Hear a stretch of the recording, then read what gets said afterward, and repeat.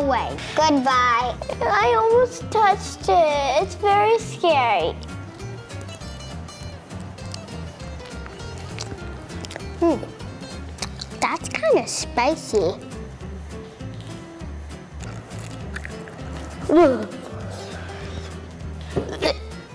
What if I told you you could only eat crickets in the future? I would not eat anything and die. You don't get much of that cricket flavor with the, the lime on it. Insects like crickets are great for future food because, mm-hmm. Because they're easy and sustainable. yeah, Fletcher,